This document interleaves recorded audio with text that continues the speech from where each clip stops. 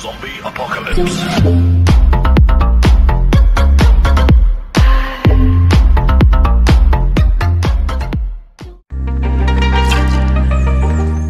Dal capitolo 1056, l'esistenza della Cross Guild ci ha messo in testa tante illazioni, sia dal punto di vista dei membri che ne fanno parte, sia per la mossa politica più rivoluzionaria del mondo della pirateria, ovvero mettere delle taglie sulle teste dei Marines. Quest'atto, oltre a conferire tantissima imprevedibilità al manga da qui in avanti, rende la Cross Guild un'organizzazione ancora più oscura di quanto si potesse immaginare. E oggi parleremo proprio del valore delle taglie che Buggy e compagnia hanno stabilito per alcuni Marines.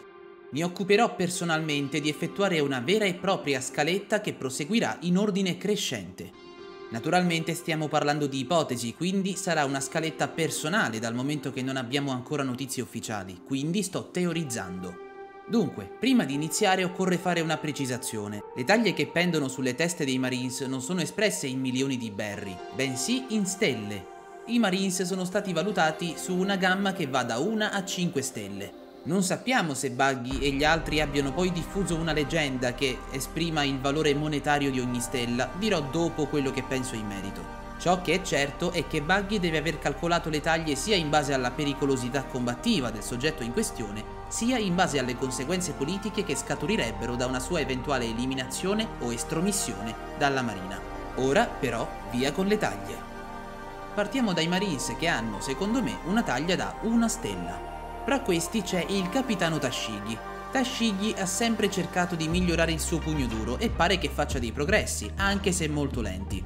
Il fatto di essere l'assistente di Smoker le permette ovviamente di migliorare più in fretta. Tuttavia è ancora acerba come Marine e non è certo nota né per la sua pericolosità né per la sua spietatezza contro i nemici. La sua fama, tuttavia, potrebbe averle permesso di farsi notare e di ottenere comunque una taglia da una stella. Un altro Marine a una stella è El Meppo. Quando parliamo di lui parliamo di un personaggio che avrà sicuramente un ruolo in futuro nel manga, che potrà anche essere marginale, ma che non sarà trascurabile. La sua fama è quella del figlio di un ex capitano spietato, Morgan Manodasha, ma anche della spalla del ben più famoso capitano Kobe.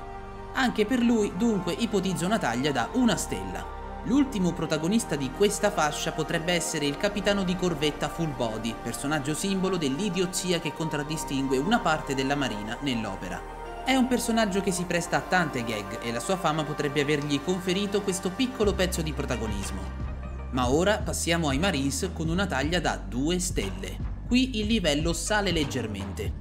A mio parere in questa fascia potrebbero rientrare alcuni viceammiragli, ad esempio Momonga. Attenzione perché non stiamo parlando di uno sprovveduto, ha chi dell'armatura e della percezione, conoscenza approfondita delle tecniche Rokushiki, serietà e grande senso della giustizia. Un individuo con queste caratteristiche e con questa esperienza pluriennale non può essere sottovalutato da uno come Buggy, un altro potrebbe essere Lonz. Lonz è un gigante e maneggia con destrezza un'ascia gigante. Non parliamo di un tipo tranquillo, anche se a Marineford ha fatto una pessima figura. Tuttavia non ha colpe perché l'uomo che lo ha distrutto era Barba Bianca. Lonz quindi non ha avuto modo di mostrare le sue vere capacità ed essendo un vice ammiraglio avrà sicuramente altre occasioni. Tra le due stelle annovero anche Yamakagi, ovvero colui che ha comandato una flotta di navi e due serafini per andare a catturare Boa Hancock ad Amazon Lily, in seguito allo scioglimento della flotta dei Sette. Non è cosa da poco, e nonostante la missione sia stata un fallimento, la colpa non si può certo attribuire in toto alla Marina, visto l'intervento inaspettato di Teach.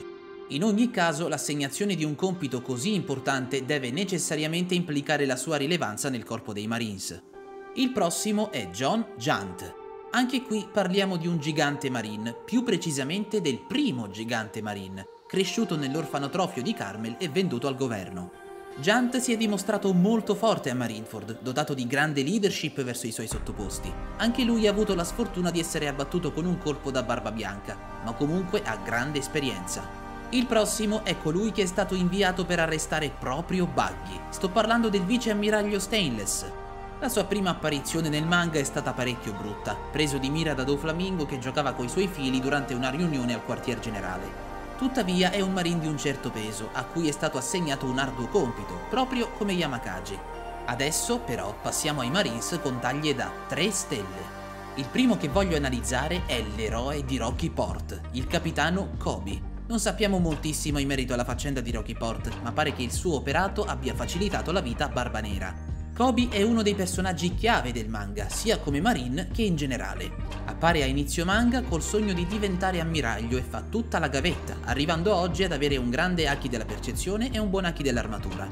Non sappiamo ancora quanto sia davvero cresciuto in forza, ma nonostante la sua giovinezza è già definito un eroe, proprio come il suo mentore Garp. Questo non fa che accrescere la fama di Kobe, che quindi è sicuramente annoverato tra i più pericolosi Marines da uno come Buggy ma a 3 stelle annovero anche il vice ammiraglio Tsuru. È una donna potente appartenente alla vecchia guardia dei Marines.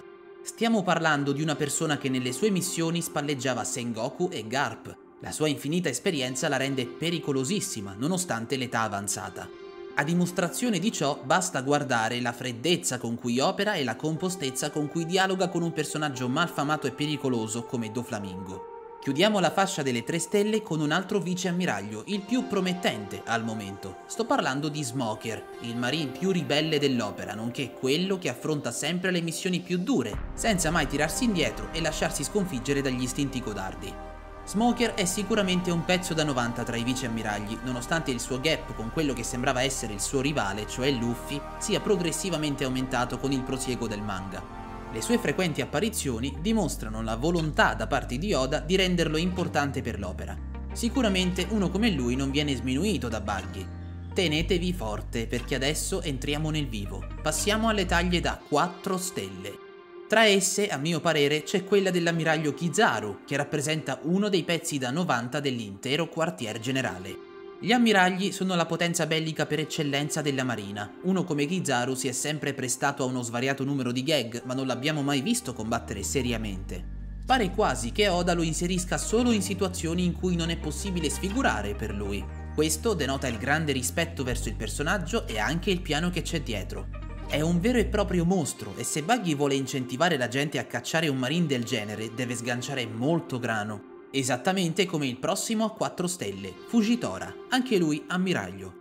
Fermo restando che non credo che resterà un marine ancora a lungo, la sua fama e la sua pericolosità lo rendono un bersaglio per nulla facile. Oltre alla sua potenza, ha dimostrato grande senso di giustizia e va facilmente in berserk quando vede qualcosa che va contro la morale in cui crede, come dimostrato nella scena della sua apparizione al casino di Dressrosa. Dietro alla sua apparente calma, dunque, si nasconde un alto coefficiente di spietatezza. Il prossimo a 4 stelle è il terzo ammiraglio, Ryokugyu. Sì, la sua apparizione a Wano non è stata delle migliori, ma praticamente ad Aramaki Oda ha riservato il trattamento opposto a quello di Kizaru. Quest'ultimo non sfigura mai, mentre Aramaki ha fatto la figura dell'idiota già alla sua seconda apparizione, risultando un codardo di prima classe, con l'innegabile complicità della sponsorizzazione del film e quindi della conseguente aura potentissima che Shanks doveva per forza flexare. In ogni caso non possiamo certo considerare Aramaki un tizio facile da battere, parliamo di un ammiraglio che in quel momento avrebbe dovuto fronteggiare Foderi, Yamato, ciurma di Luffy e ciurma di Shanks. Su via, non siate troppo severi con lui, è stato per lo più vittima del fanservice. Ci siamo, è il momento delle taglie a 5 stelle.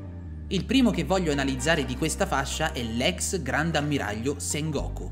È vero, è stato declassato, ma non di certo perché fosse diventato scarso o inadatto. Si è semplicemente assunto le sue responsabilità dopo la guerra dei vertici e ha capito che era il momento di farsi da parte.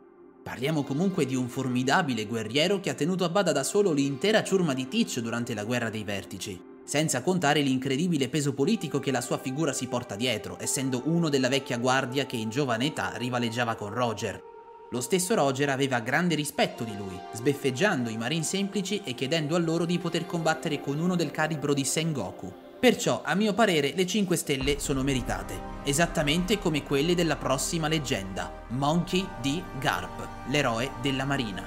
Sapete cosa significa portare un titolo del genere? Garp è un simbolo immane. È vero, la vecchiaia è un fattore non indifferente in One Piece, ma noi dobbiamo comunque ragionare con la testa di Buggy, la reazione di Teach nel vedere Rayleigh ad Amazon Lily era quella di uno che stava per farsela addosso, eppure Rayleigh stesso ha poi ammesso che non avrebbe mai vinto contro Barba Nera. Questo significa che i personaggi della nuova era temono ancora tantissimo le leggende del passato, a prescindere dalla loro età.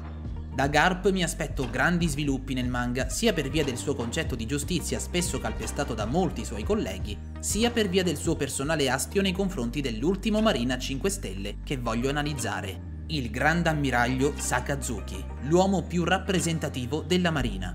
Buttar giù lui vuol dire condannare l'intera organizzazione al fallimento. Oltre ad essere un individuo potentissimo, è un abilissimo stratega che avrà sicuramente un ruolo di grandissima rilevanza nel prosieguo dell'opera, specialmente dopo gli avvenimenti che stanno attualmente destabilizzando il mondo di One Piece. Aki sicuramente più sviluppato che in passato, passato in cui aveva già dimostrato la padronanza del Ryuo, frutto del diavolo sgravatissimo e caratterizzazione davvero villain dal pugno duro.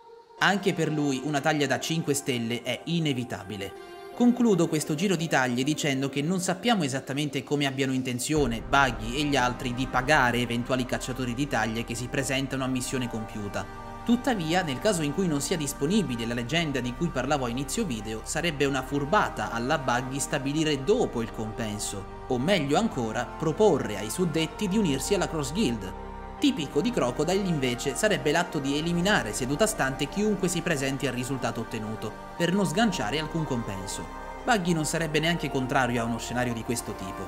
Tanto a Mihawk interessa soltanto pubblicizzare la sua bellissima, potentissima e nerissima Yoru, la spada migliore del mondo. Bene picciotti, per oggi è tutto. Fateci sapere nei commenti cosa ne pensate del video e quali taglie assegnereste voi ai Marines. Alla prossima, sayonara!